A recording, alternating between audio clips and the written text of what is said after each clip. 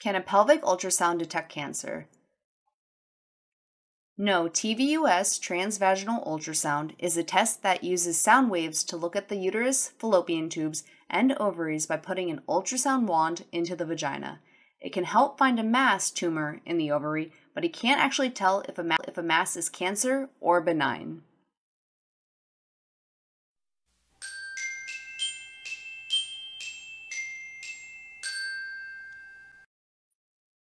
Why would a doctor order a pelvic ultrasound? A pelvic ultrasound may be used to diagnose and assist in the treatment of the following conditions abnormalities in the anatomic structure of the uterus, including endometrial conditions, fibroid tumors, benign growths, masses, cysts, and other tumors within the pelvis. As I was saying, I will see you guys in the next video. Thanks for watching.